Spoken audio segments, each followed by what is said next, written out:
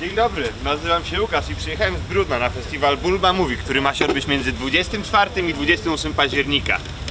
Myślę, że warto poczekać. Zapraszam.